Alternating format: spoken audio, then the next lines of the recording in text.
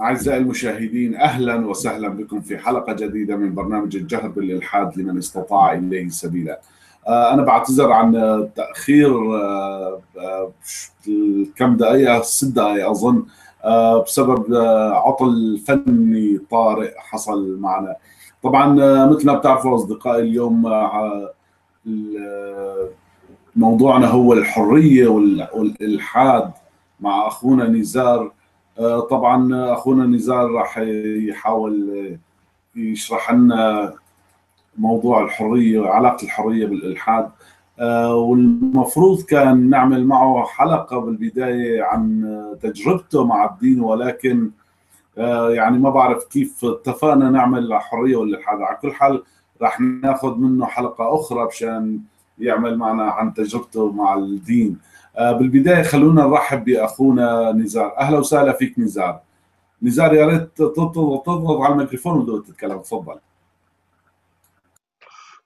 أهلا بالجميع. آه، معكم أخوكم نزار من آه، باريس يعني من فرنسا. نقدم نفسي قليلا يعني أنا من أصل تونسي. عندي تجاوزت ال 50 يعني في 54 سنة. آه، عندي آه، أكثر من 35 سنة غربة في في فرنسا. آه، متزوج يعني ولي أولاد ومتحصل على الجنسية الفرنسية وموظف في الدولة الفرنسية يعني. وعندي جنسيتين يعني جنسية فرنسية وجنسية تونسية. هو بصراحة ما محتاج لتفاصيل يعني بس هيك لا لا لكي تكون الأمور واضحة. يعني أنا انسان ما الموضوع هو أنا ما, ما بخبي شيء. يعني ما آه، طول طول حياتي وأنا إنسان ما عندي آه، شيء اخبيه يعني. آه، زار يعني زار الوضوح جيد بس في في ناس يتربصون لنا لذلك يعني نحن نحاول قدر الإمكان آه، يعني مسي... مسيرة مثل ما بقولوا على كل حال القضية به.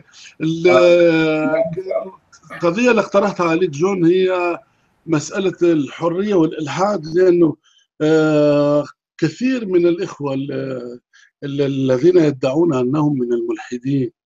آه، لهم آه، بعض الخلط في في المفاهيم. آه، أنا في اعتقادي وأقول هذا عن عن يقين يعني شخصي أنه مسألة التدين وقضية الإيمان بالإله وقضية الاعتقاد في في الخالق الأوحد. قضية متعلقة رأسا بمسألة آه، جوهرية قبل أن ندخل في قضية الاعتقاد. لأن آه، قضية الاعتقاد هي قضية مرتبطة قبل كل شيء بهل للإنسان حرية أم لا. ما هي حرية الإنسان؟ ليست حرية سلوكية يعني مش حرية يعني آه شرطية وقضائية وسلوكية ونسبية. هي قضية أن الإنسان حر أو ليس حر الحرية هي كنه الإنسان.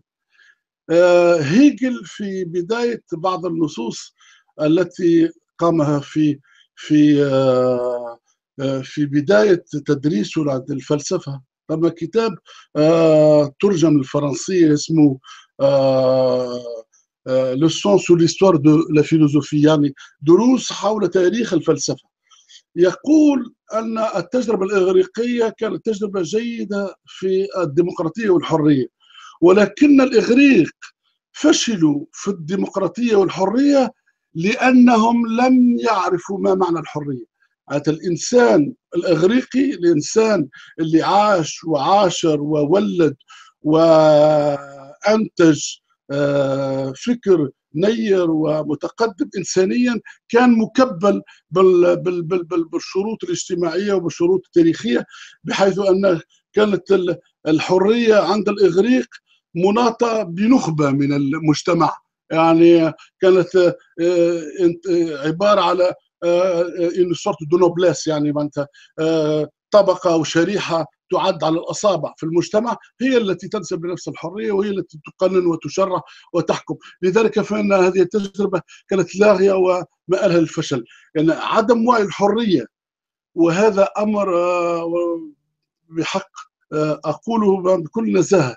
المفكر الوحيد على مر العصور اللي وضع الإشارة الأساسية لهذه الحرية هو باكونين. آه، أنا لست من معناتها المعتنقين لمذهب باكونين راسا بصفة عامة ولكن باكونين هو الذي آه، آه، أشار إلى أن حرية الإنسان إذا كانت هذه الحرية مناطة بأي شبهة أو ملتبسة أو كان فيها أي شكل من اشكال العبودية فإنها تشمل حرية الناس أجمعين يقول باكونين إن إن عبودية أي إنسان في أقصى اقاصي الأرض إذا آه، كانت آه، تداس وكانت مهانة فإن حرية أي بشر يدعي أنه حر كانت قد مست وإن مراجعة حرية الإنسانية تكون بذلك الشكل آه، واردة. إيش معناتها؟ معناتها أن في نظر باكونين أن الحرية الإنسانية هي حرية مطلقة لكل الناس. آه، ومن هنا هذه الحرية هي التي تولد فيما بعد الاختيارات الفلسفية والعقائدية والاقتصادية والاجتماعية وما إلى غير ذلك. والمتدينين والمناهضين المتدينين هذا الفريقين أي كان كانوا إسلاميين وغير إسلاميين ومتدينين يعني بشكل أو بآخر لو كانوا مسيح أو هندوس أو زرادشت أو بهائيين أو أي نوع من الاعتقاد. والمقابل أيضا يعني الملحدين بمعنى أنهم من ينصبون العداء للمتدينين. آه، أنا وردت لك بعض الملاحظات حول هذه المسألة. أعتقد أن مرحلة آه، فيها هذا التقابل يجعل من أن المؤمنين ضد الملحدين هي مرحلة إنسانية متأخرة. لأنه الناس آه، المتدينين مقابلهم الملحدين فإن نحن في معركة في نفس التوقيت لم نتجاوزها. آه، لذلك أنا مش اعطيك مثلا مثال على ذلك. أنا واحد من الناس أنت بون شخصيا قضية الدين قد حسمت فيها منذ عهود يعني منذ السبانة. مانيش معناتها عندي بضعة وخمسين سنة ولكن آه، أني لا أعتقد في الإله منذ عمري ثمان سنوات. يعني مش آه، عندي أكثر من آه، خمسين سنة في هذا الاتجاه. ولكن أعتقد أيضا أنه بإمكان الإنسان أنه يعيش حياته الاجتماعية وحياته الإنسانية وحياته الاقتصادية والعاطفية والفنية وال... بدون أن تكون له حاجة أن يتطرق إلى الدين. يعني الحياة بلا دين ممكنة والحياة بالدين بغير مقتضية الدين واردة وممكنة. وإني أكذب الادعاءات اللاهوتية التي يريدها المشايخ والأئمة وكل المعتقدين والمسلمين والنصارى واليهود وجميع المتدينين في أن الإنسان بالسليقة مؤمن. هذا كذب كاذب آه، وهراء وهراء خرافي. علاش؟ وأنا أنا أنا, أنا هذه الحجة وإني أكذب ومنهم أكثر التنويريين عدنان إبراهيم ومشو هذا كذب يا عدنان أنت تكذب أنت تكذب لأني أنا شخصيا وأشهد على نفسي ما أقول. آه، قمت بعمليات جراحية مميتة يعني واجهت الموت. ولكني عندما واجهت الموت لم أشاهد ولم ألحد ولم أذكر آه، اللاهوت مش عارف شو ولم آه، أستدعي رب العباد وأستغفر الله كل هذا كذب وهراء وادعاء زائف. يعني الإنسان إن كانت له ركائز في محورياته يعتقد في صدق ما يعتقده في ذاته أنه محور هذه الحياة وأنه محور هذه الدنيا وأنه محور هذا الكون فإنه لا في حاجة إلى إله. لأن هذا فيوربخ يقول أن ان أن الإنسان هو الذي خلق الله وليس الله هو الذي خلق الإنسان. لماذا خلق الإنسان الله؟ لأنه محتاج إلى أن يجد اسبابا لاوضاعه في ضعف. ضعف يعني في مواجهة المرض في مواجهة المصائب والنوائب والكبائر في تفسيره للزلازل والصواعق والبراكين والطبيعة الهوجاء وكل هذا في هذا الجهل وهذا الخوف وهذا الإرهاب الطبيعي يجعل من الإنسان القاصر الضعيف الذليل المستكين أنه يخلق قوة خارقة وقوة لا إنسانية تفسر هذه الظواهر ويركن لها في وقت الحاجة وفي وقت الطمأنينة ولذلك بعض الأصدقاء في بعض الأحيان يقولوا عندما تصاب بفاجعة كبرى وتموت لك أمك أو أبيك فأنت في حاجة إلى تستكين إلى الربوبية والإله كل هذه فراغات فأني فقدت أمي وأعتقد أن هذا أمر طبيعي وهذا إنساني والحقيقة الوحيدة التي يعرفها كل الناس والناس يعني البشر الإنسان بصفة عامة عامة أن الموت هي الحقيقة الوحيدة. أننا كلنا ميتون كلنا ميتون وهذه هي الحقيقة الوحيدة. أما أني أستمتع بحياتي وأني أجعل من وجودي خلودا في كل لحظة هذا هو المطلوب. أنا الحرية التي أطالب بها هي حرية أن أقيم الجنة على الأرض. أن الوعود الزائفة والكاذبة التي يقال أن سوف نعيشها بعد الممات لا فلنحققها على الأرض. لماذا لا نحقق المحبة على الأرض؟ لماذا لا نحقق الاخاء على الأرض؟ لماذا لا نحقق السعادة على الأرض؟ لماذا لا نحقق الاشتراك والمقاسمه على الأرض؟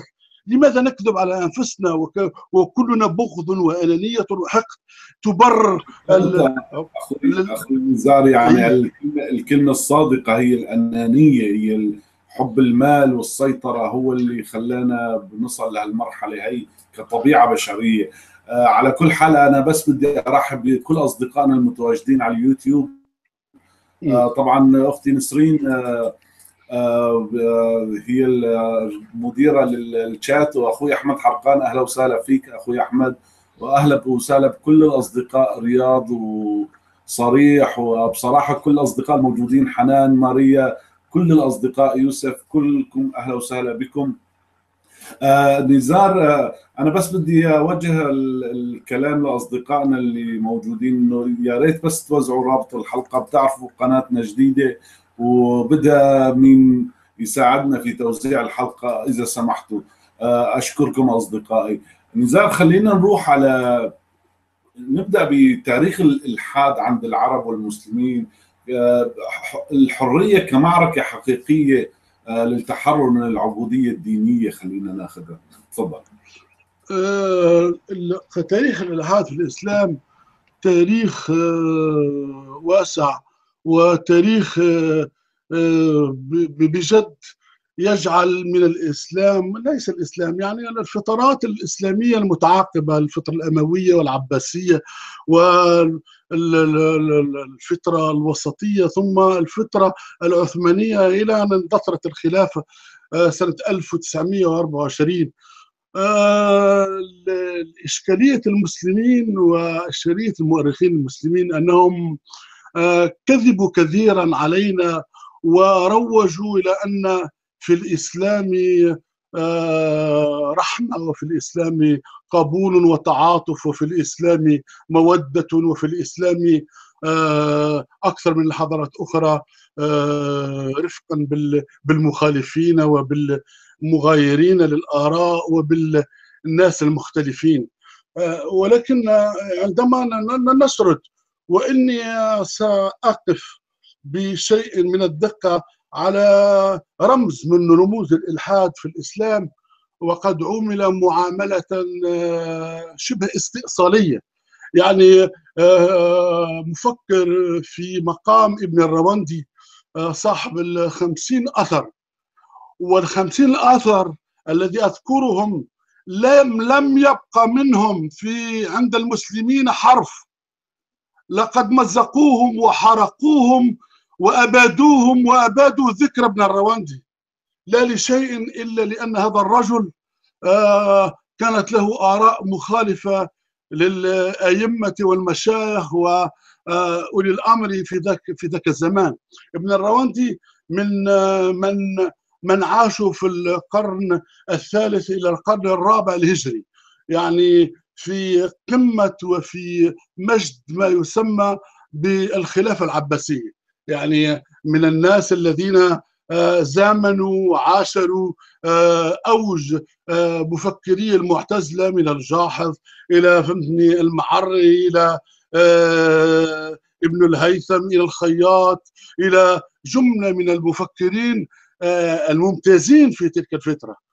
ولكن برغم أن بلغنا عن الجاحظ وبلغنا عن الخياط وبلغنا عن المعري وبلغنا عن جملة من المعتزلة آثار وأشعار وكتب الا أن ابن الرواندي باعتباره ملحد قد تم حرق وإبادة كل الكتابات.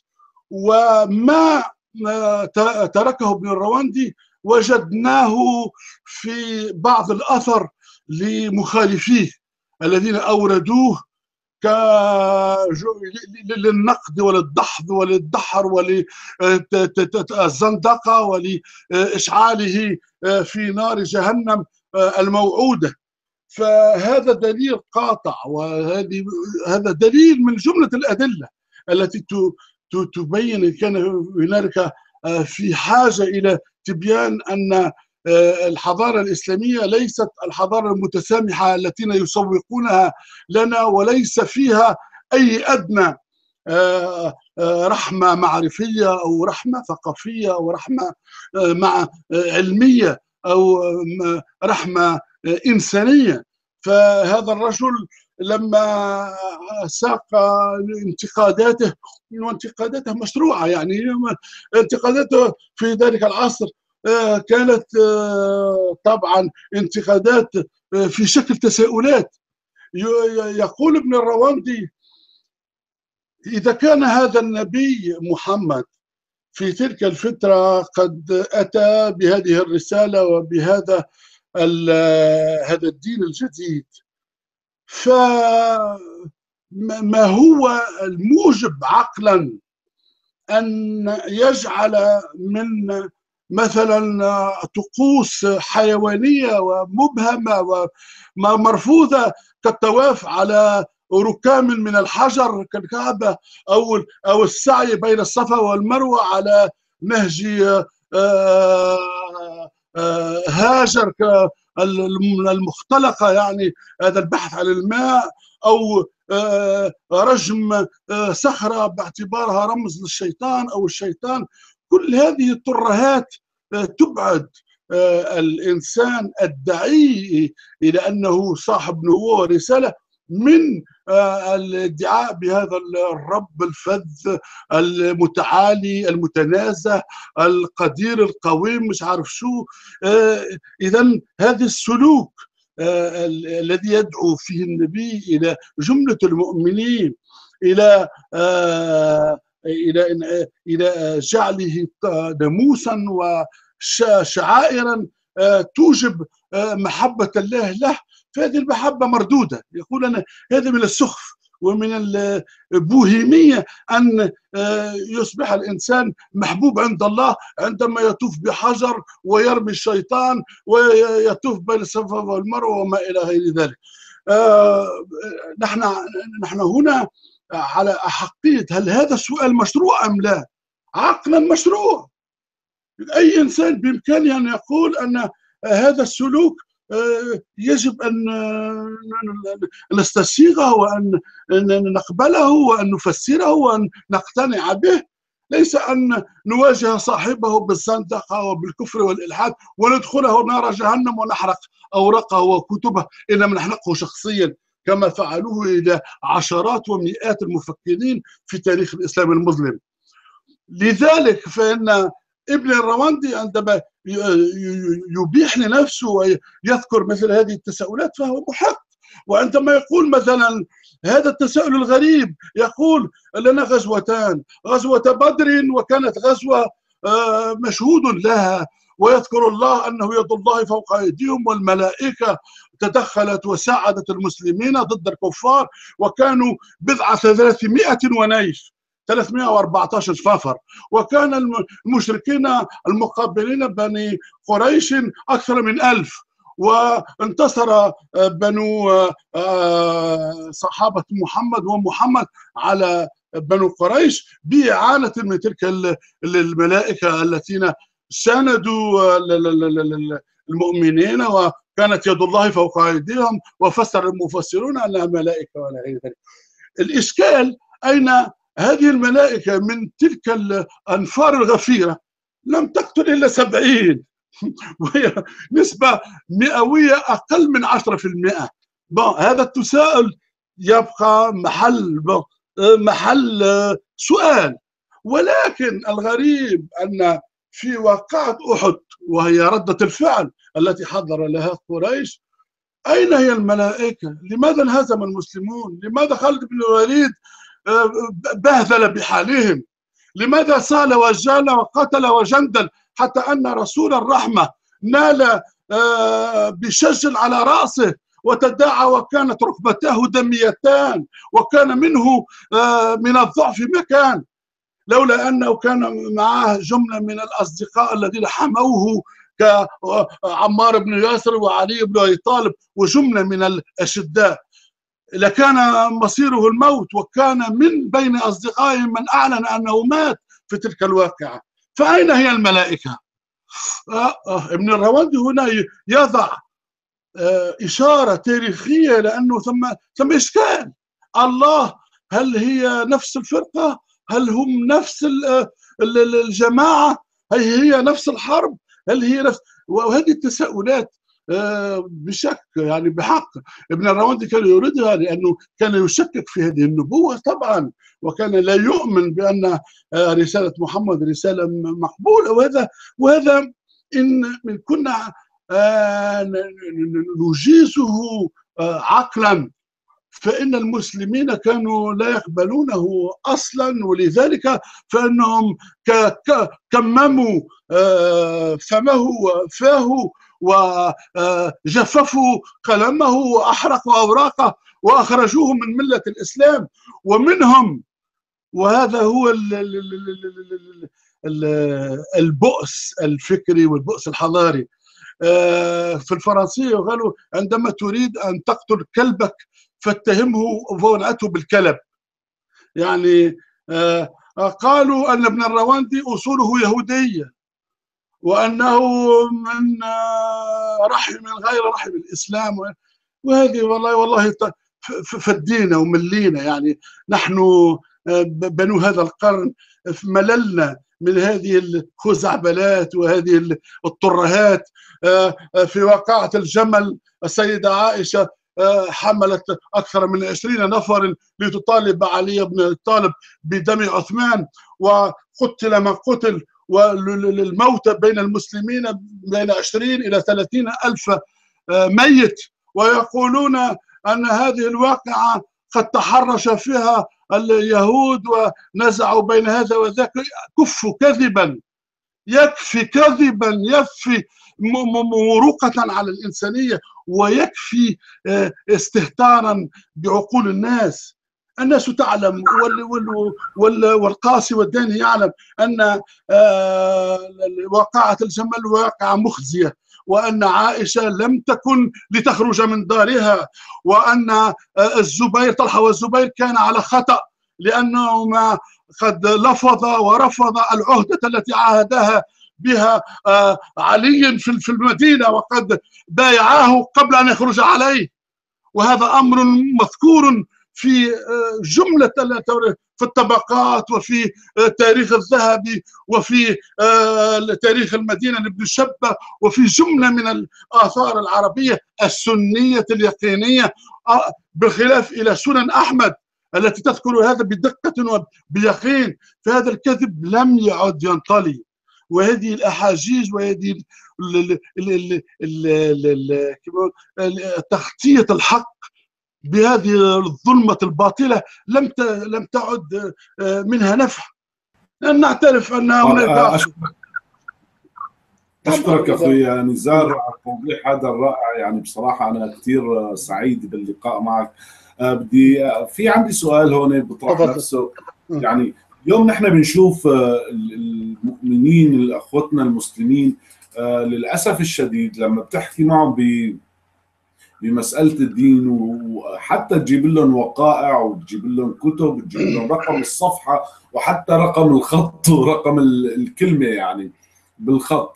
وتحطها قدامهم بيقول لك يعني إذا جبتها من فريقين مثلا خلينا نقول فريق ملحد بيقول لك هذا كذب وافتراء. وإذا جبت لها من فريق شيخ مثلا جبت له إياه بيقول لك ما شاء الله. يعني دور القداسه في التعصب والديني هذا. شو دور القداسه في هالتحجر هذا؟ يا ريت تشرح لنا دور القداسه هي اللي نحن بصراحة نحن نحاول جاهدين إنه نشيل هالة القداسه هي شو دور القداسه في هالتعصب هذا؟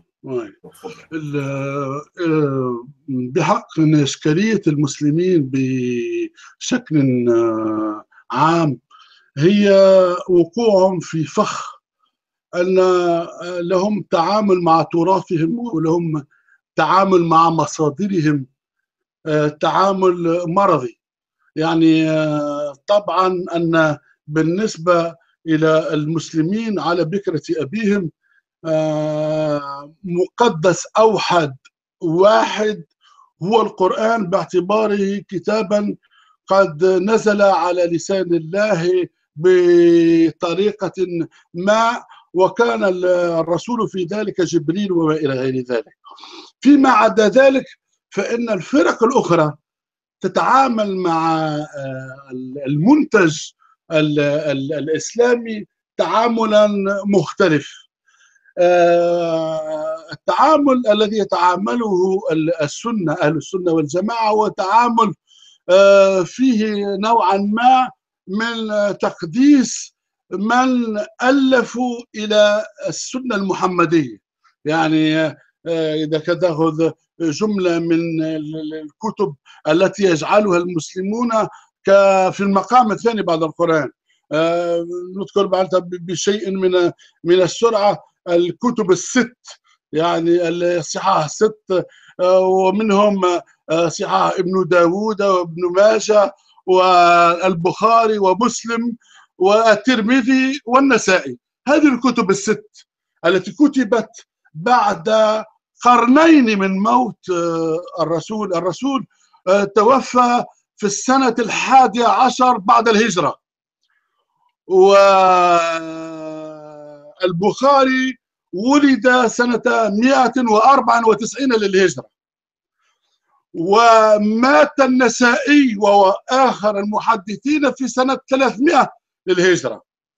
يعني هنالك قرن القرن الثالث في خلال هذا القرن الثالث آه، آه، حصل ما في الصدور وتم ما يسمى بتوثيق أو صياغة السيرة النبوية في تلك الفترة. ملاحظة آه، لكي ما, ما لا تفوتني. الست التي ذكرتهم لك الست يعني ابن داود وابن ماجه ومسلم والبخاري والترمذي والنسائي كل هؤلاء الست ليس فيهم محدث أو عالم واحد عربي. كل هؤلاء من الأعاجم يعني أغلبهم من الفرس ومن الخرسانيين ومن القوقازيين ومن ناس تنتمي إلى جنسيات مغايرة للجنسية العربية. الوحيد وهو رأس الحرب في ظني في هذه المسألة وهو من تقوم عليه كل المسؤولية التاريخية هو أحمد بن حنبل. وأحمد بن حنبل هو من كان قد سك سكوك التوبة والرفعة وأشر إلى صحة ويقين المضامين للكتب الست. فقد قد زاره البخاري وزاره مسلم وكان من كتابه ابن ماجه وقد رأى واستوعظ وحدث ابن داود. آه، كل هذه المجموعات كانت من سريج واحد من نهج واحد أو من فكر واحد. والإشكالية إذا أردت أخي جون أن أن ندقق في هذه المسألة لأن المشكات الإرهابية المشكات المتطرفة المشكات الإقصائية المشكات العنصرية متولدة من المدرسة الحنبلية بصفة عامة وهذا ما لا يجرؤ على ذكره أحد. لأنهم يجرمون طيفا وطيفا ونيفا ولكنهم لا يعودوا إلى المصادر. نحن ناس في دراساتنا وفي مجالاتنا العلمية عندما نريد أن ندرس أي ظاهرة أو ندرس أي معلومة نذهب إلى الرأس إلى الأصل إلى المصدر لكي نبحث عنه ونتفقد ما به لنعلم ما هي القضية. قضية الإرهاب الموجودة حاليا مدرستها وعمقها التاريخي ومؤذنها وإمامها هو أحمد بن حنبل. ومن لا يدرك ومن لا يوقن ومن لا يعترف بهذا فإنه قد ضل الطريق وخرج عن الموضوع. لماذا؟ لسبب بسيط لأن أحمد بن حنبل هو من صاغ ومن ألبس المذهب الحنبلي بجملة من الطقوس والتفوم والجزئيات التي تجعل من الإسلام حظيرة تاريخية متقوقعة متجلمدة وكما يقول في القرآن بعض الأئمة مع أحمد بن حنبل قد حصل ما في الصدور. سأفسر لك هذا. أحمد بن حنبل كان عاش في ولد في ال 161 في هجري. يعني في الطور الثاني من الجيل العباسي. يعني خرج من رحم البدايات الأولى للدولة العباسية إلى أن زمن وعاشر هارون الرشيد ثم الأمين والمأمون والمتوكل بو. في تلك الفترة التاريخية أصيب أو يذكر أن أحمد بن حنبل قد اختبر في مسألة تاريخية كان قد أقام أو أفتاها أو أقر بها المأمون وهي قضية ما يسمى محنة خلق القرآن. محنة خلق القرآن باعتبار أن المأمون كان من المتنورين في عصره. وكان من الذين قد أشادوا وأفادوا في بيت الحكمة وأدخلوا الفلسفة الإغريقية وقاموا بالترجمات وأجازوا للمعتزلة أن يكون لهم باب وصول وجوال وفكر وانتشار للرأي للرأي والرأي المخالف إلى أن ككل الأنظمة الاستبدادية كان للمأمون أيضا شوكة في أن يقيم مذهب الدولة. ومذهب الدولة الذي أقامه بذراع ابن أبي ذؤاد وهو وزيره أنه يجب أن يجعل الأئمة كلهم على نهج واحد وقبولهم بما يسمى بخلق القرآن. خلق القرآن أي أن الإنسان القرآن تاريخي. أنه عندما يقول في القرآن مثلا عبس وتولى أن جاءه الأعمى وما يدرك لعله يتزكى وما إلى غير ذلك فإنه يقول أن هذه الحادثة حادثة تاريخية بالفعل لأن الرسول قد عبس وتولى عن الأعمى إذا فعندما نزل القرآن ليقول له يا محمد لقد عبست. وتركت ذاك الأعمى وهذا أمر لا يجوز لك ألم يجدك يتيما فآوى وجدك عائلا فأغنى وجدك فقير فأغنى إلى غير ذلك إذا تاريخية القرآن هي مسألة عقلية وكان المعتزلة عقلانيين وكانوا يقولون على القرآن لا يجوز أن لا يكون له تدخل في التاريخ. هل الله قد دخل في تاريخ الإنسانية؟ هذا هو الأمر. بالنسبة للمعتزلة فإن لله إمكانية أنه يتدخل في الحادث التاريخية. أنا, أنا لا, لا أدخل في الدقائق لأن هذه ليست هذه المسألة. ولكن أحمد بن حنبل باعتباره إنسانا لاهوتيا متلهتا نصوصيا معتقدا في أن آه، لا لا لا, لا خلق للقران وإنما القرآن قديم قدم الله وما إلى غير ذلك. فلو تمسك بالموقف الكلاسيكي يعني اللاهوتي في اعتبار أن القرآن سابق للمكان والزمان وأن الله لا يلاصق الدنيا وما إلى غير ذلك. قضية اختلاف الرأي إلى انه عانى منها أحمد بن حنبل وكانت معاناته قد اسبغت عليه صبغة المقاوم المجاهد الذي آه، آه، أقام بشوكته ضد السلطة. ولكن أحمد بن حنبل على أنه أصيب ببعض من البلاء شيئا من السجن وبعض شيئا من الجلد وشيئا من سوء المعاملة. لأن صيته قد ذاع واشتهر عنه أنه إمام تقي ورع وما إلى غير ذلك. الإشكالية في أن أحمد بن حنبل مع الميزات في آه، تمسك برأيه وبقى على ما يعتقد فيه. إلا أنه كان من الذين آه، يؤمنون بال بما يسمى بالشرعية شرعية الغالب ولا شرعية المتحكم ولا بقدرة الذي له السلطة. كان إنسان من الذين آه، ينظرون إلى قبول الأمر الواقع وقبول الفاجر وقبول المتسلط والظالم ما دامت له شوكة وما دامت له سلطة. ما دام هو الحاكم فإن الخروج عن الحاكم فيه مغبة وفيه فتنة وشق وشق حسب طاعه وفيه آه، متاهات لا يحمد عقباها لذلك حتى وإن قبل بتلك المهانة وبتلك العذاب إلا أنه لم يدعو في يوم من الأيام إلى الخروج على السلطة العباسية. وكان من الذين يقبلون وينظرون ويؤكدون أن آه، آه، وأطيعوا الله والرسول وأولي الأمر منكم. ايا كان أولي الأمر إن كان فاجرا آه، ابن ابن شرموطة ابن مش عارف شو تقبله تقبله لأنه صاحب الشوكة وصاحب السلطة. فهذا هو الأمر. فيما بعد لما استتبت له الأمور ومات المأمون وجاء المتوكل بعد أخويه فإن المتوكل من الناس الذين كما هو معنا أراد أن يغير سياسة الدولة. فمن وما وأن وأزاح سلطة المعتزلة عن الحكم. فمن لمن التجأ؟ التجأ إلى البديل الموجود في تلك الفترة وهو أحمد بن حنبل.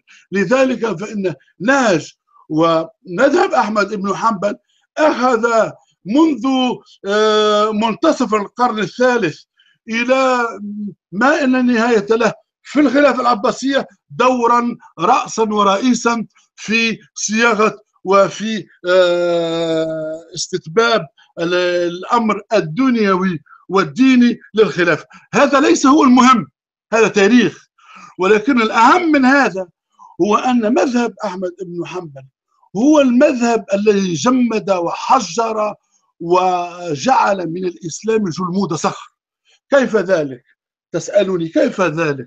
أقول لك أحمد بن حنبل هو الذي جعل من الإسلام فطرة تاريخية مقدسة.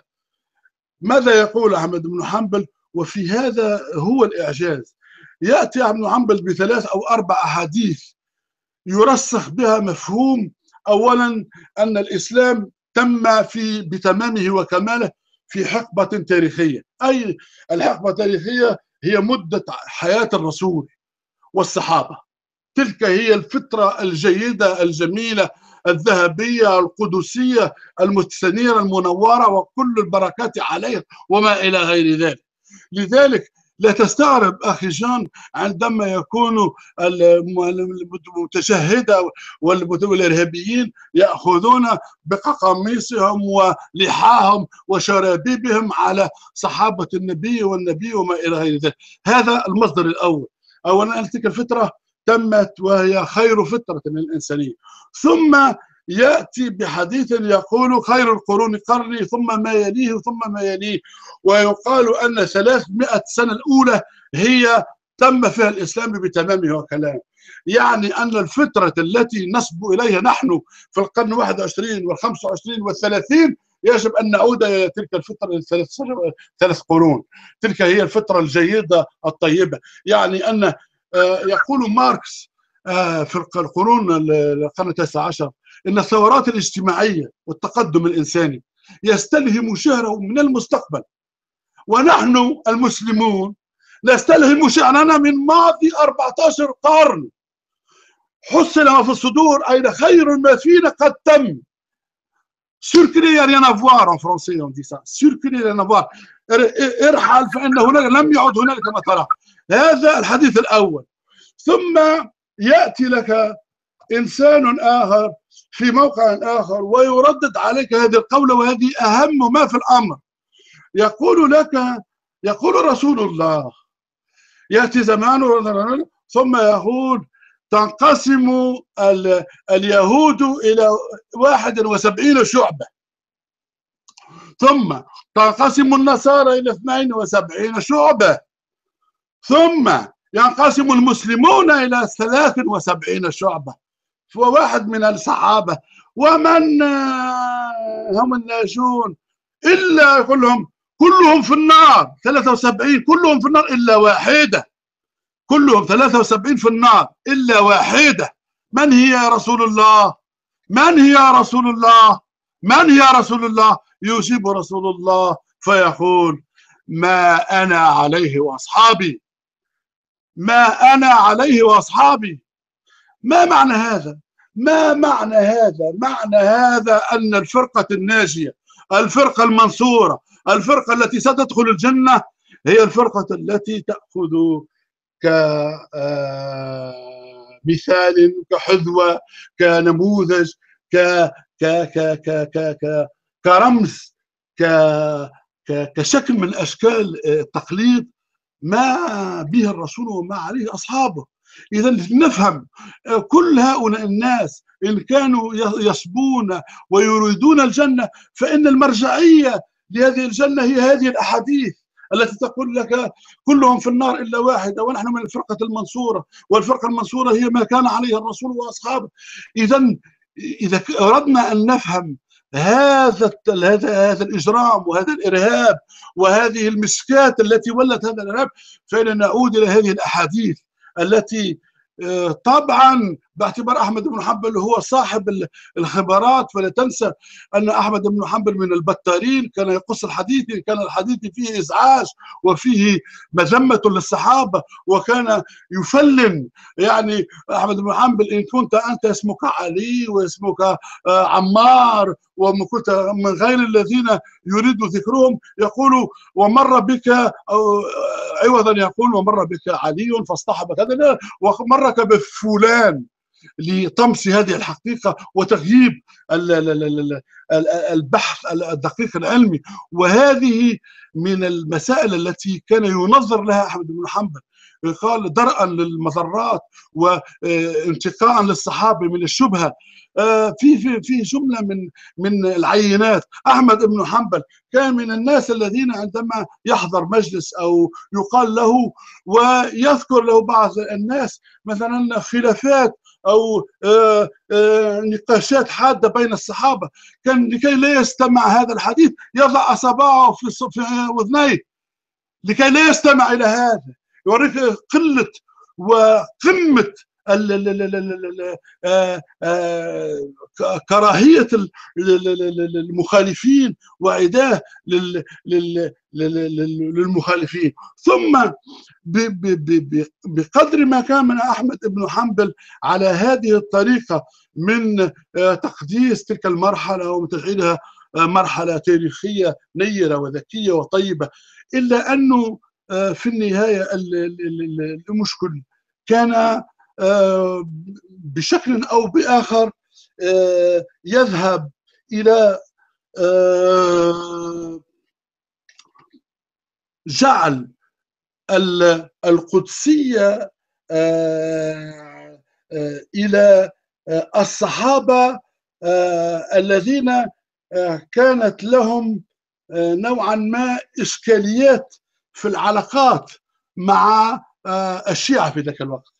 إشكالية أحمد بن حنبل أنه في ذاك الوقت في القرن الثاني والثالث كانت الشيعة لهم ادعاءات مشروعة يعني في أنه ثم ذكر في إما في في السيرة أو في الأحاديث إلى أنه علي كان أحق من أبو بكر وعمر وكان أحمد بن حنبل باعتباره نفسانيا وتاريخيا وعقائديا وعرقيا وجنسيا. موالي لبني أمية كان يدافع على خلافة معاوية بن سفيان وكان يزكي يزيدا وكان يهلل لكل هذه الطيف من من من الصحابة بين الظفرين لأن فيهم كثير من من الصحابة. وكان يجعل من من عاشروا الرسول في تلك الفترة. والجيل الثاني والثالث في مقام القداسة في مقام من لا يمس. اذا فأنت بإمكانك أن تقدح في من شئت. إلا أن تقدح في معاوية أو تقدح في عثمان أو تقدح في في عمر أو تقدح في أبا بكر. وكلهم الوحيد الذي الإسلام نزعه عن الخطأ وجعل له بعضا من القدس هو الرسول. فيما عدا ذلك وكلنا خطاؤون وخير الخطائين التوابون. والتوبة يعني في معنى أنه كل الناس يؤخذ منه ويرد. إلا فلا عند أحمد حنبل لا. كل الناس يؤخذ منهم ويرد إلا الرسول ومن كان معه والعصابة يعني والجماعة والجمال الجماعة الملتفية حول. وهذا أمر أصبح عند بعض المسلمين في مقام القداسة وتحولت القداسة من شخص إلى طبقة إلى مجموعة إلى هيئة. وكانت هيئة ونظر ووزع إلى جملة من مقاصد ليس لها تاريخ وليس لها صحة. كحديث أصحابي كالنجوم بأيهم اقتديتم اهتديتم. هذه خرافة هذا الحديث لا معنى له يقينا لأن في أصحاب الرسول من كان الفاجر والبر. ودليل على ذلك أن عمر لكي يلكمت ويكمم ويحدث الخمار على نساء الرسول كان في يوم من الأيام وهو يأكل عند رسول الرسول لامست يده يد فاطمة يد يد عائشة. قالوا كيف يا رسول الله؟ كيف أزواجك عرضة لل ويقول عمر للرسول يدخل عليك البر والفاجر. على الرسول. إذا كان على الرسول يدخل البر والفاجر فهل الصحابة كلهم منتزهون؟ شو اللي البهامة والحماقة والجهل. بتاع هالناس اللي ما عندهاش لا تمييز ولا ولا يقين. ثم نسترسل قليلا. بعد أحمد بن حنبل وما ساغ له في هذه الهيلولة وهذا المشكات من الإرهاب. فإنك تجد فيما بعد كل العناصر المكملة للهيئة الإسلامية. فمن أقام ما يسمى بالنقاب هو أحمد بن حنبل. لأخي جون سوف أقول لك قولا كي تفهمه ولكنه عامي يقول أحمد بن حنبل فيما معناه. إذا رأيت وجه المرأة إذا رأيت وجه المرأة فماذا بقي فيه؟ فهمت علي ولا لا؟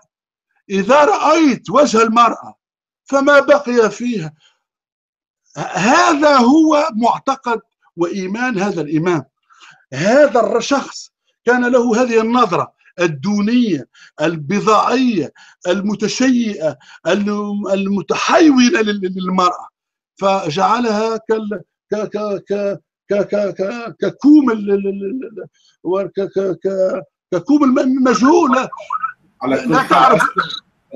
بما أنه دخلنا بموضوع المرأة راح نكمل طبعا. موضوع المرأة بس بشأن الوقت لأنه صراحة الوقت كما يساعدنا الوقت وأنا طبعا. أتمنى من أصدقائي طرح الاسئله وفي عندنا أسئلة كثير أظن أخوي نزار ما بنقدر يعني نكفيها طبعا لا سي سي لك الحق. آه على شكل. لا لأنه باش نفهم أنه المذهب الوهابي في الطقوس والمعاملات وفي الإجراءات الاجتماعية يأخذ فقهه ويأخذ مسلكيته على ما أقامه أحمد بن حنبل في ما يسمى بالتفرقة بين الجنسين وإبقاء المرأة في البيت وللإنجاب وما إلى غير ذلك. ونساؤكم حرث لكم فاحرثوا ما شئتم ودونية المرأة وأن المرأة أقل معنى يعني ولكن في طيب خلينا ناخذ سؤال أخوي نزار. وأنا آه، آه، يعني أشجع أصدقائي بطرح الأسئلة. آه، الأيديولوجية الإسلامية هي اللي اللي إجت من وراء حنبل وجماعته. يعني آه، كمبرر الذكوري والسلطة الرج- الر- الر- الرجولية المطلقة في المجتمع. يعني يا ريت يا ريت تحلل لنا إياها برأيك. تفضل. طبعا ال- ال- ديما في أي عمل نقدي في أي عمل آه، تبياني. نحن آه، كما نقولوا بلغة آه، تصويرية نريد أن نفقع ال- الدمله نريد أن نظهر ال- الأشياء في أبشع صورها يعني بصراحة. لكن عندنا في تاريخ الإسلام عندنا 14 قرن. من الذكورية ومن سلطة الرجل ومن هيمنة الذكور في المجتمعات.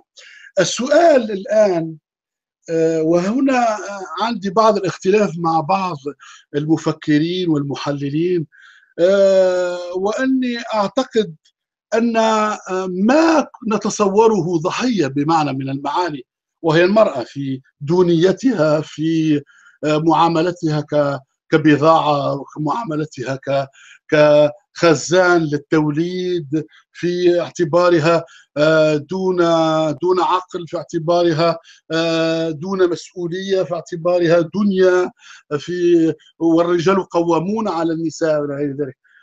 عندما نعاين ال- ال- ال- الصيرورة التربوية التي عاشتها المرأة ومارستها في فترات متلاحقة من الزمن العربي الإسلامي وفي كل المجتمعات الإسلامية نلاحظ آه، أنه آه، بصراحة المرأة آه، لها جانب ونصيب من المسؤولية لماذا؟ لأن المرأة في مجتمعاتنا العربية تحمل ايديولوجيا نظريا يعني تحمل الأفكار التي تعادي وضعها وتعادي جنسها وتعادي مصالحها ال ال ال ال الاقتصادية ومصالحها الاجتماعية ومصالحها السياسية. والدليل على ذلك أن المرأة عندما تربي آه، صغارها ذكورا واناثا فإنها لا آه، تعطي آه، مساواة في تربيتها بين الأنثى والذكر فإنها تبجل الذكر وتجعله في مقام المخدوم وتجعل من أخته آه، آه، تحضر له ال- الغداء وتبجله وتقدره وتوقره وتجعل منه آه، شخصية آه، مؤهلة لاستنساخ واستعادة السلطة الذكورية التي تمارس عليها هي كامرأة وتمارس على ابنتها وتمارس على أختها وتمارس على أمها وتمارس على محيطها الاجتماعي. إذا فإن المرأة لها نصيب باعتبارها تولد ايديولوجيا وسلوكيا وتربويا واقتصاديا كل ال- المظاهر التي تجعلها في المقام الثاني وفي المقام الثالث وفي المقام المتأخر. وإني آه، فوجئت وفوجعت. في بعض الأحيان عندما في علاقات الاجتماعية. آه، ألاحظ أن في أسرة مسلمة يعني آه، يغيب فيها الأب ويكون هنالك خالة وأم وبنات وبنين وجدة آه، وكلهم يعني مسلمون ومهيئون. وهنالك شاب جاوز الخمسة عشر. مراهق يعني في هذا المحفل عندما يؤذن لصلاة المغرب أو العشاء أو الظهر يقوم هذا الشاب لإمامة ذاك الفريق وأمه تكبره وجدته تكبره وخالته تكبره وعمته تكبره وهو يؤمهم بغير علم هذه المأساة هذا هو قلة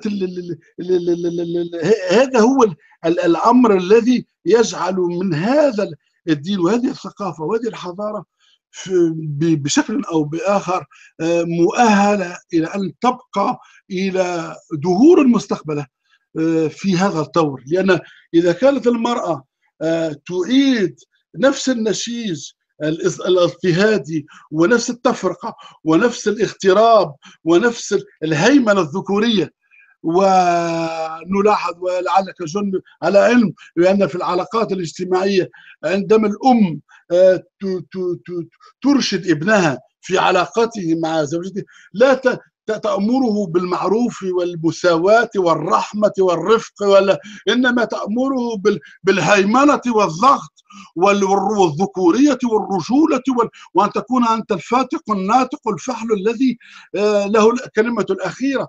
وهذا نسيج آه، اجتماعي ونسيج تربوي ونسيج آه، معتقدي يكرس ويولد ويضمن صيرورة الهيمنة الذكورية في المجتمعات الإسلامية. إذا ليس الذكور وحدهم أصحاب مسؤولية هذا الوضع. ولماذا آه، أذكر المرأة؟ لأن آه، لأن الجلوج التي تمارسها المرأة هي معادية لمصالحها.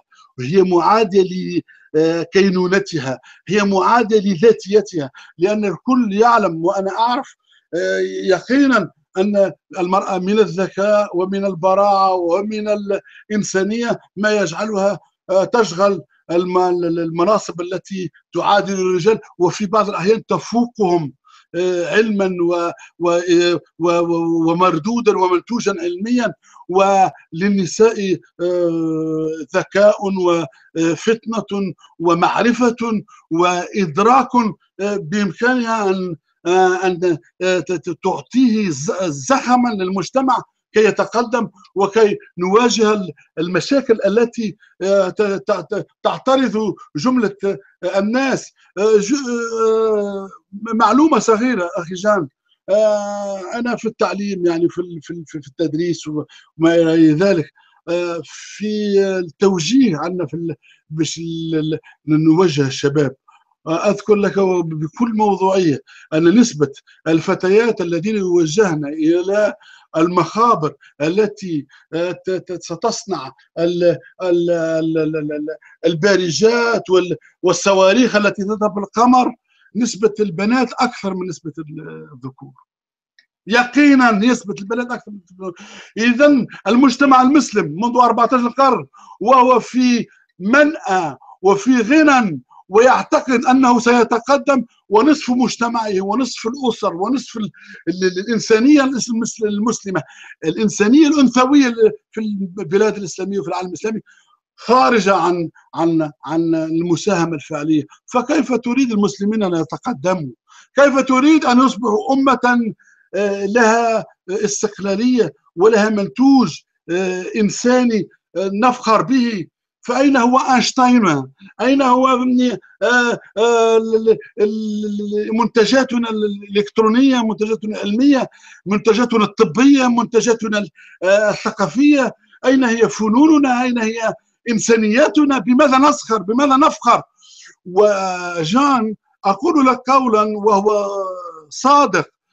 كل العلماء وكل المهندسين وكل المثقفين وكل الفنانين وكل البارعين وكل المخترعين المسلمين منذ 14 قرن في الخلافة الأموية والخلافة العباسية والخلافات المتعاقبة. كلهم من ابن ابن هيثم للرومني للخياط للنظام للفارابي للكندي لابن رشد لابن سينا لمئات هؤلاء. كلهم بمقياس مدرسة ابن حنبل زنادقة وليس لهم في الإسلام شيئا. ليسوا من الحضارة الإسلامية في شيء. فأين وما هي حضارة المسلمين؟ إذا كان هؤلاء العشرات مئات من رفعوا رؤوسنا. إنسان كالخوارزمي قد ثور الرياضيات قلب الماهية الرياضيات رأسا على عقب ولكن هذا الخوارزمي عند أحمد بن حنبل وعند ابن ابن تيمية وعند ابن ابن باز وابن عثيمين ده كل الأغبياء بول البعير وجماعة الطب النبوي والطب الزفلوتي. هؤلاء كالخوارزمي وكابن رشد وكلهم زنادقة ومعتزلة وكفار في النار. هذه الحقيقة وإذا نحن لم نعترف بهذا فإننا لن نتقدم ولن نذهب إلى أي مجال من مجالات الرقي. وإذا كنا إذا كنا إذا لم نكن نحن قادرين على نقد أنفسنا ورؤية أنفسنا في المرآة والقدرة على القول أن هذا يجب أن يقف وأن المسلمين بين ظفرين العاديين الطبيعيين السامبا ليس هنالك مسلمين عاديين وسامبا المسلمين يا إما أن يعترفوا أن في هذا الدين خور وعيب وعور وشوم وبؤم وبؤس يجب أن نستأصله وأن ننقض عليه ونقضي عليه وإلا فسوف تكون مآلنا مآل أن نندثر من تاريخ الإنسانية. وأقول لك حقا اندثار المسلمين من الإنسانية لن يكون آه، شيئا مخزيا أو ملعونا أو غير مرغوب فيه. ماذا يقدم المسلمون للإنسانية في هذا الدور؟ ماذا يقدم المسلمون للإنسانية الآن؟ لا شيء. يقدمون لها يد فارغة وأخرى لا شيء فيها يقدمون أخوي نزارهم يقدمون الإرهاب ويقدمون ثقافة بول البعير وثقافة المرأة. إيه. طبعا طبعا. إذا كان هذا ما يقدمونه فإنه آه، هيهات وبئس المصير. هيهات وبئس المصير. هيهات وبئس المصير. عندي سؤال اجاني من آه، من أخونا. أظن آه، سؤال من محسن. عم بيقول ما علاقة الإنسان الالحاد بالإنسانية؟ والله أخي جان الإلحاد والانسانيه الإلحاد ملتصق بالإنسان كالتصاقه بالذات البشرية. لأن الإلحاد ك ك ك ك كنزعة أو كقيمة إنسانية وهو ملتصق بالذات البشريه لأن الإنسان الذي آه، آه، له آه، نزعة تساؤلية الإنسان الذي يبحث عن الحقيقة الإنسان الذي يسأل ويريد عن الجواب والإنسان الذي تكون الإجابة الدينية غير مقنعة له. فهو بطبيعة الحال سيخرج عن الطور الإيماني والاعتقادي والديني. اذا فإن الإنسان منذ أن نشأ والإنسان منذ أن خلق والإنسان منذ أن ظهر والإنسان منذ أن تطور آه، كميات آه، مهولة من من من إنسانيته ومن أعداده وأرقامه كانت آه، ليست لها علاقة بالتدين ولا بالإيمان ولا بالاعتقاد آه، الراسخ في الإله وفي الذات. ولكن تلاحظ أخي جان أن الدين آه، باعتباره ارهابا فكريا وباعتباره مبنيا على القصر وعلى الجبر وعلى الهيمنة والسلطويه والعقوبة والتهديد وال من البداغوجيات الإسلامية. طبعا عاش قال آه، آه، رافقوهن واضربوهن لعشر وصاحبوهن لتسع في في في مخزوننا التربوي. هنالك إجبار الإنسان على غير ما يعتقد. الطفل الذي لا يريد أن يصلي يجب أن يضرب وأن يجلد وأن يستتاب وأن يعاقب عقوبات آه، خارقة. وهذا النسيج وهذا النسق وهذا هذه النزعة التربوية ليس هنالك أخطر منها على المجتمعات وليس هنالك أكثر منها آه، آه، منتوجا عكسيا. لماذا؟ لأن كل التربيات المبنية على القهر, وعلى القصر وعلى الضغط وعلى الجبر هي آه، تربيات فاشلة لأن بإمكان الإنسان أن يكون يصلي ويتكربص ولا إله إلا الله ويقينه آه، ليس ليس في قلبه حبة خردل من الإيمان بإمكانه أن يصلي الخمس والعشر والتراويح وليس في قلبه حبة خردل من الإيمان. وهذا تشجيع مباشر للنفاق وللرياء وللخدعة وللكذب وللزيف وللفساد الاجتماعي. فهؤلاء الناس الذين يجبرون يجبرون على اعتقاد ما لا يعتقدون وعلى الإيمان بما لا يؤمنون. وعلى وعلى ممارسة ما لا يريدون. كل هؤلاء هم قنابل موقوتة في المجتمع موجودة لكي تنتظر الحين والموقف والوعد تقوم بعملها الانتقامي في يوم من الأيام وترجع المجتمع بالوبال وتكون عبارة على طابور خامس. وهذا هو الطابور الخامس. لأن المجتمعات التي آه، انكسرت ودمرت وانهارت كانت تشكو في داخلها مثل هذه الخروقات ومثل هذه الأمراض. والأمراض التي آه، تولدها المجتمعات آه، الشمولية المجتمعات التي فيها ضغط ليس فيها حرية ليس فيها تبادل ليس فيها قبول للآخر ليس فيها آه، رغبة للحياة والجمال والفن والإبداع وليس فيها إمكانية أن الإنسان يفتق المواهب مواهبه ويشعر فيها بالسعادة وبالأمن. هذه المجتمعات مآلها إلا الزوال.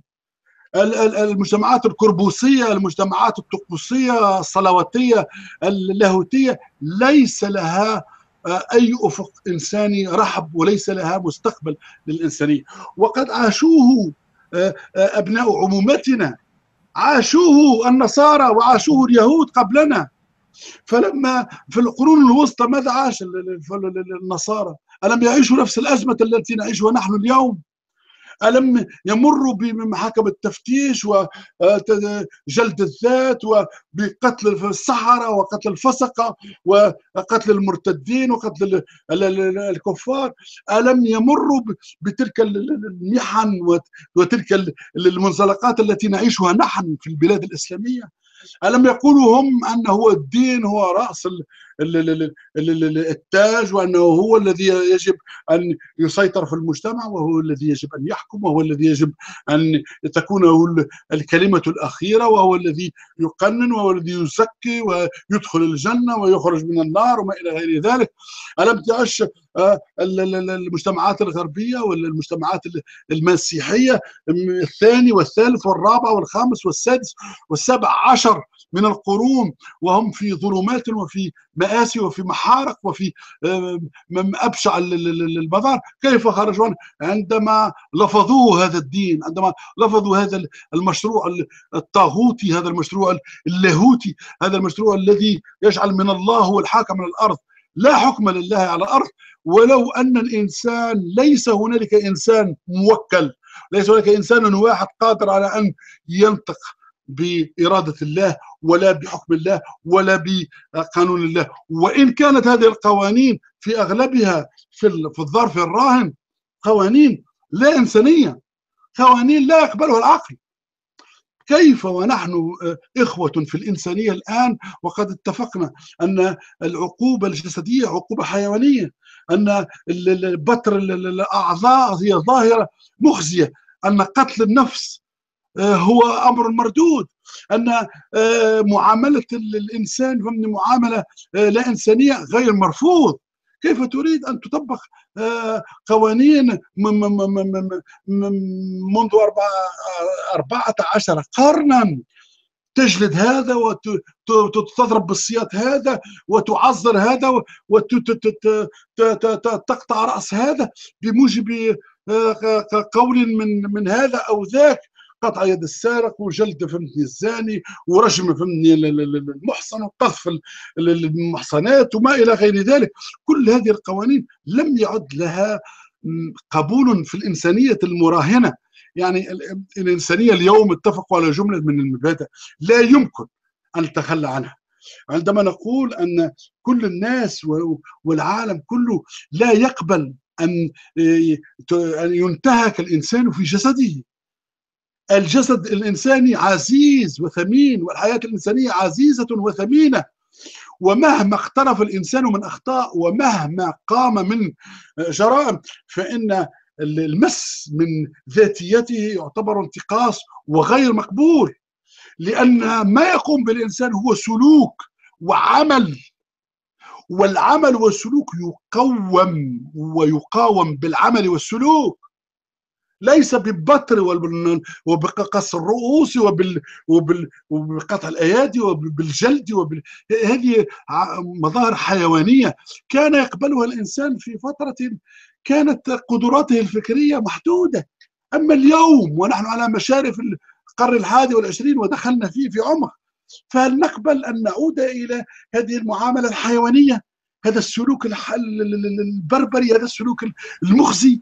الذي لا يقبله. حتى نحن الآن نريد أن نرفع من إنسانيتنا فنعامل الحيوان معاملة إنسانية. ونرفع عنه الظلم والضيم وال وال وال وسوء المعاملة والتعذيب فما بالك بالإنسان بالذات البشرية.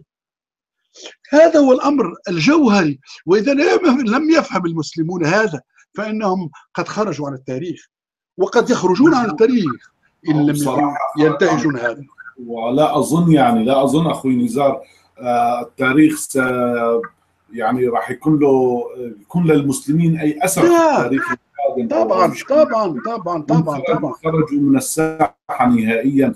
على كل حال عندي سؤال أخير آه، المجتمع الإسلامي كمولد خلينا نقول للكراهية للآخرين وإجبار البشر على النفاق والبراء والحقد الدفين ضد المجتمع آه، يا ريت يا ريت آه، آه، بس مسألة الكراهية هي تشرح لنا إياها حتى لأنه بصراحة عندنا الوقت شوي ضيق وأتمنى من الأصدقاء كمان إذا في عندهم أسئلة يطرحوها. وهو كذلك بالنسبة لمسألة كراهية الآخر إشكالية الإسلام أنه نسج منذ قرون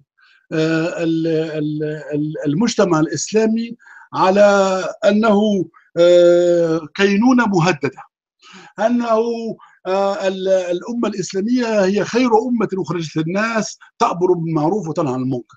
فبهذا الاعتبار فإنه وضع الإسلام نفسه موضع الطرف المتميز الطرف المحبوب عند الله والطرف الذي سوف يجازيه الله بمقتضى آه، هذا هذه الطاعة. ومن جملة طاعات الله وهذا هو الخطر. الطاعة لله في أنك تناصب العداء لغير المسلمين. هذا الإشكال.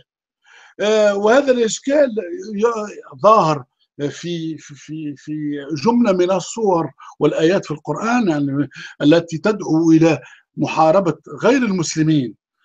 وفي التربية الوقائية يعني آه، يخشى المسلمون أن يغيروا دينهم فيطالبون بنبذ الدين الآخر واعتبار أن اليهود قد كذبوا على الله وافتروا وأن المسيحيين قد ضلوا وغيروا وبدلوا وزيفوا الأناجيل والكتب السماوية.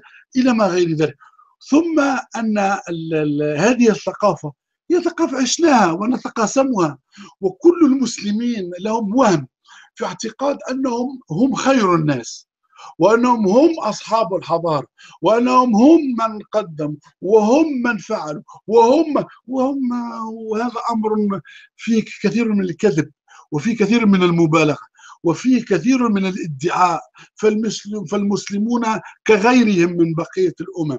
فيهم الغث وفيهم السمين فيهم الفقير وفيهم الغني فيهم القادر وفيهم القاصر فيهم العالم وفيهم الجهل وفيهم الشجاع وفيهم الحقير وفيهم المنافق وفيهم الأفاك وفيهم الديوث وفيهم الشهم وفيهم جملة ما في الإنسانية من خصائص.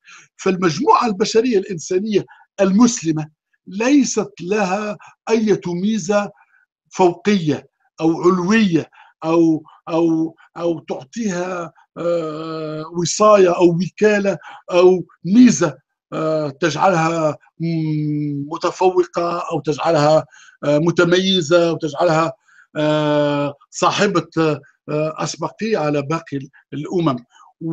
والمشكل أن الحضارة الإسلامية والثقافة الإسلامية بحكم جهل مؤسسيها وعلمائها ومكونيها لا يعلمون أن أكثر من نصف الإنسانية على مشارب ومذاهب أخرى.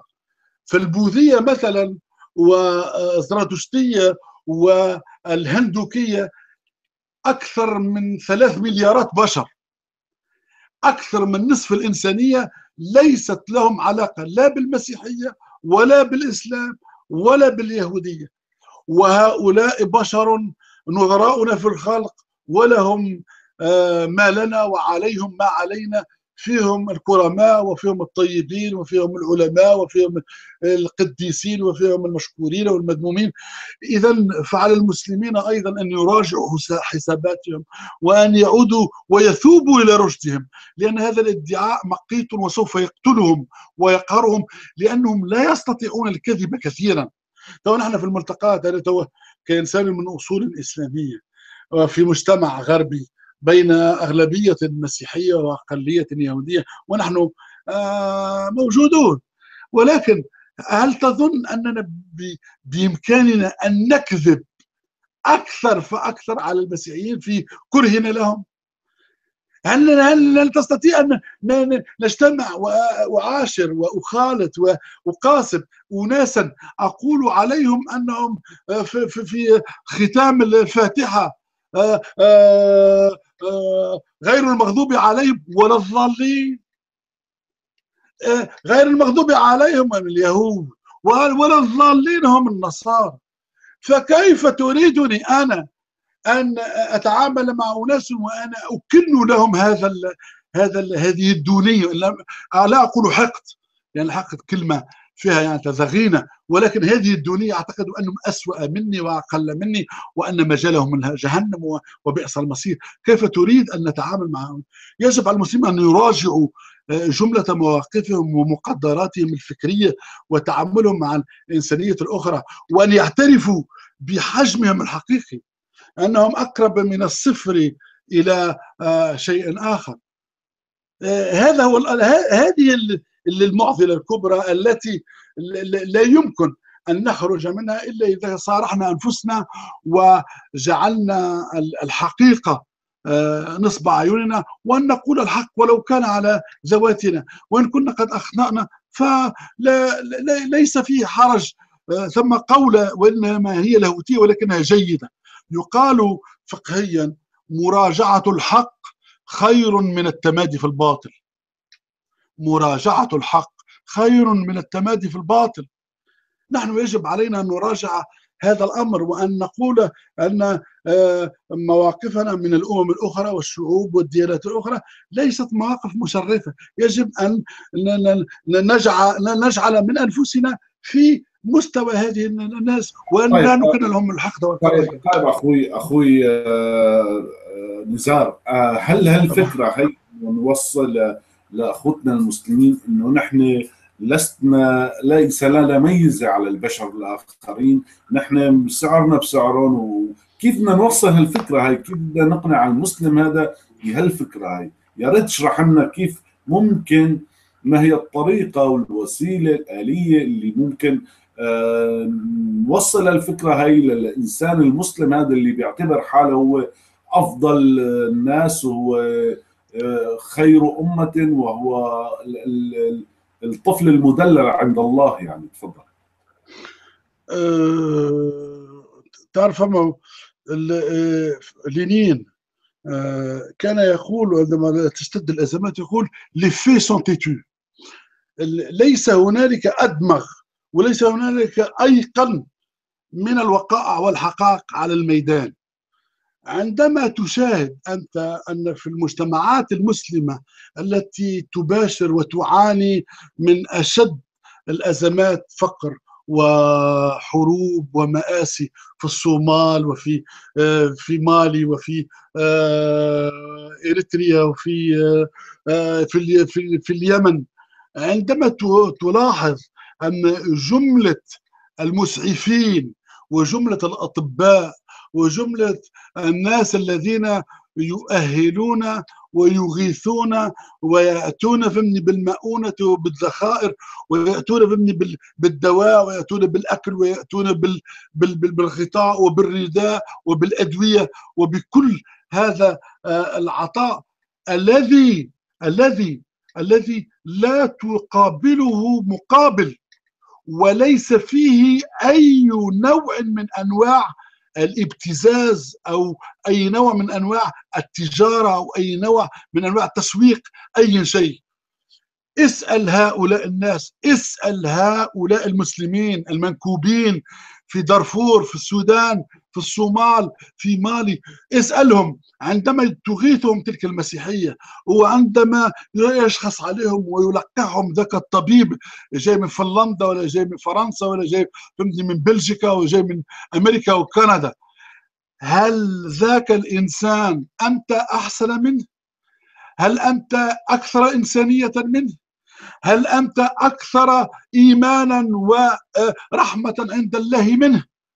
أظن أن الإجابة سوف تكون لا بكل يقين ولماذا أقول هذا؟ أقول هذا لأن الأمة الإسلامية، العالم الإسلامي، المجتمعات العربية والإسلامية بكل أسف وبكل لوعه وبكل أسى في مؤخرة وفي أسفل وفي آخر ترتيب الأمم فلو قمنا بإحصائيات وشفنا أي دراسات متعلقة بالعلوم أو بالكيمياء أو بالفيزياء أو بالتكنولوجيا أو بأي مجال من المجالات نجد أن نصيب العرب والمسلمين صفرا وغير موجود. والدليل على ذلك هل تذكر لي عالما أو عالمين أو ثلاثة نوبل عرب في إلا نجيب محفوظ المسكين الذي حاولوا أن يقتلوه لأنهم كفروه في مصر وحاولوا أن يذبحوه وهو النوبل الوحيد الذي لدينا في في الآداب وفي وفي في العطاء الفني. هل هنالك نوبل وحيد في الرياضيات مسلم؟ هل هنالك نوبل وحيد في الفيزياء الفلكية مسلم؟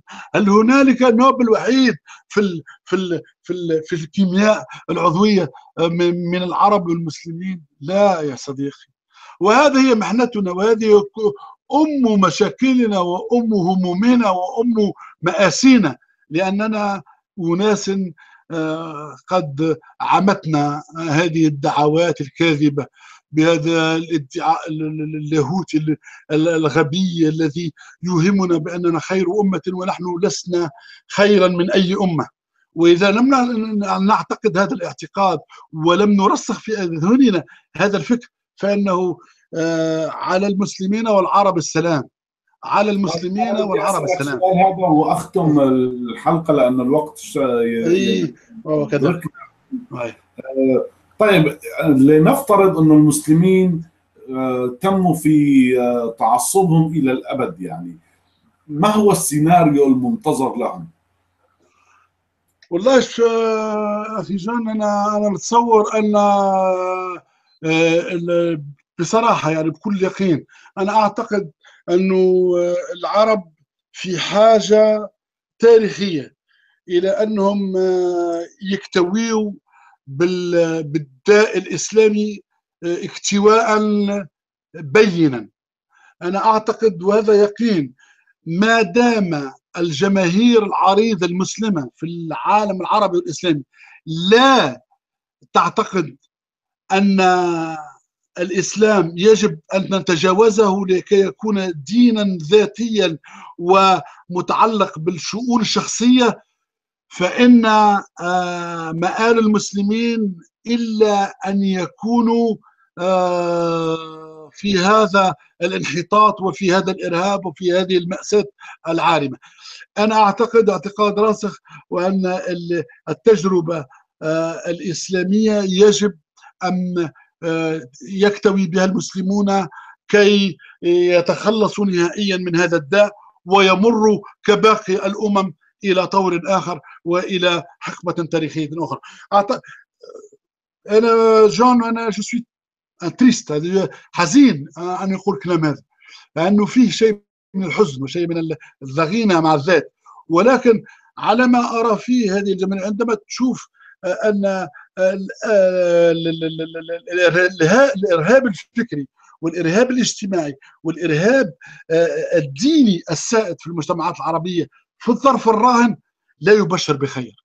ولا سبيل إلى أن نعتقد انه الإسلام قد يقلع عن طموحاته الاستبدادية أو أن ينزوي عن تطلعاته في الحكم إلا إلا إذا رفضه المسلمون. والمسلمون الآن في مخيلهم وفي لا وعيهم وفي اعتقادهم الجماهيري الواسع أن هو حلهم وهو بشيرهم وهو نذيرهم وهو جناتهم على الأرض. فاعتقادي أن هذه الجنة التي سوف يرونها سوف كما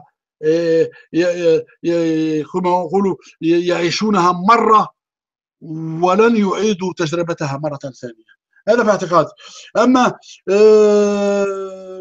التطور التاريخي في الحقب القادمة سوف نعيش نكسات ونكبات وتفجيرات أخرى وجهاديات أخرى ومآسي أخرى إلى أن يقتنع المسلمون اقتناعا راسخا أن دينهم لا يصلح لدنياهم إنما دينهم يصلح لبيوتهم ولذواتهم ولإيمانهم في صدورهم فحسب.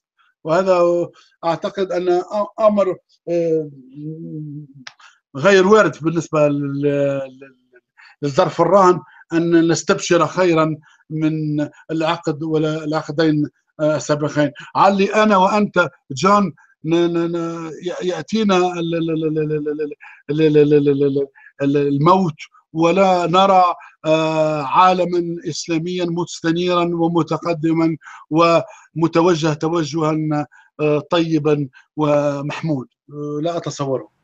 أنا أنا بصراحة أنا غير متشائم مثلك يعني. أنا أرى الوضع هو سريع في بسرعة التكنولوجيا وطبعا يعني بفضل التكنولوجيا يعني نحن كيوتيوبيين على الأقل على إيدينا يعني كثير ناس تفهموا وضعهم وقدروا يستوعبوا مسألة الدين بالنسبة للعصر هذا وتأثير الدين للعصر هذا وتاريخية الدين هذا يعني. ف أنا بصراحة متفائل صح هالعقد عقدين ممكن يكون بلابل كثير قلاقل مثل ما بقولوا أو أو تفجيرات وكل هالشيء هذا ولكن ما أظن يطول أكثر من عقد عقدين وسترى سنرى الجيل الأجيال القادمة هي أجيال متنورة أجيال لا لا لا تنصت للمشايخ لأنه إذا الجيل الحالي هو جيل الواتساب وجيل الفيسبوك وجيل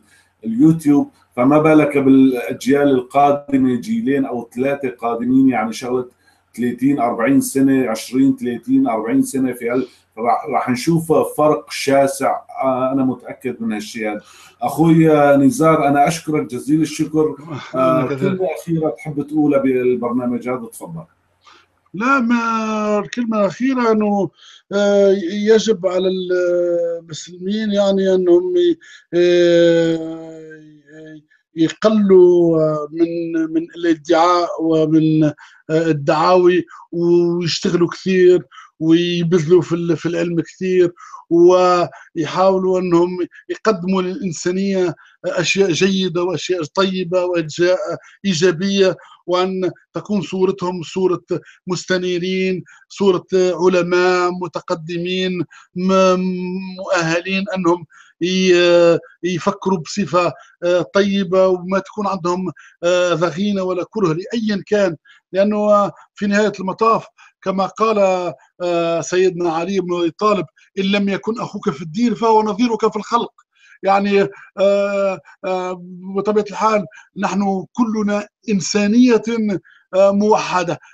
الدين هو جزء من إنسانيتنا وليس كل إنسانيتنا يجب أن يتذكر كل منا أن دينه ليس هو كل ذاته وكل إنسانية الدين هو جانب من الإنسانية والدليل على ذلك أن هناك أناس لا دين لهم ولهم إنسانية طيبة وكريمة وجيدة وليسوا في حاجة إلى دين كي يكونوا أناس وكي يكون الإنسان إنسان. اشكرك أخوي نزار بصراحة أصدقائي أنا بعتذر على في كثير أسئلة إجتنا. يعني هلا في سؤال أنا بدي أجاوب عليه بسريع. جدا جدا إنه آه زيد عم بيقول آه هل يعتقد أخ جان إنه أمريكا مجرمة؟ بصراحة أمريكا يعني شو هذا؟ هل طبعا. لا لا لا جان أنا أعتقد أن الحكومة والدولة الأمريكية دولة مجرمة إمبريالية قاتلة مهيمنة على الشعوب ومهيمنة على راسا على شعبها الأمريكي. يعني ما في نحن لا نقدس. الغرب بالنسبة لنا ليس نموذجا وليس مثالا وليس إلها وليس معبدا. الغرب فيه نفس المشاكل التي موجود فيها شعوبنا العربية ومآسي الغرب عديدة وهم لهم مشاكلهم وهي أعمق وأجدر وأخطر من مشاكل المسلمين. يعني ما فينا نجمل ولا نزكي ولا نطبل لأي مجتمع لأن المجتمعات الإنسانية بكل يقين ليست هي المجتمعات المثلى والمجتمعات التي يحلو فيها العيش بدون مشاكل لكل مجتمع مشاكله. ولكن كما نقولوا نحن عندنا يجب على كل أن يكنس في بيته وأمام بيته. لو كنا مش نحكي عن الأمريكان فلنأتي بأمريكيين اللي يحكوا عن أمريكا وعن مجتمعاتهم ولكن نحن من أصول إسلامية ومسلمين وعرب فإننا نحكي اولا على همومنا العربية والمسلمة الإسلامية داخلنا كي ننهض ونرقى ونتقدم. هذا هو غايتنا وليس نحن لسنا وكلاء ولا أبواق للغرب ولا نحن ننبذه ونلفظه هذا الغرب. أشكرك أخوي نزار ومثل ما قلت الغرب هناك يعني في الغرب مشكل ملون طبعا. بشر في كل شيء. يعني ما نقدر نقول مجرم مجرمة يعني طبعا. واحد طبعا. طبعا. يقينا. يقينا. يقينا. أشكرك جزيل الشكر أصدقائي. أشكركم جزيلا. طبعا موعدنا بكرة راح يكون في تمام الساعة 7:30 بتوقيت لندن مرة أخرى. أشكركم للمتابعة وأشوفكم غدا. إلى اللقاء أصدقائي. إلى اللقاء, إلى اللقاء.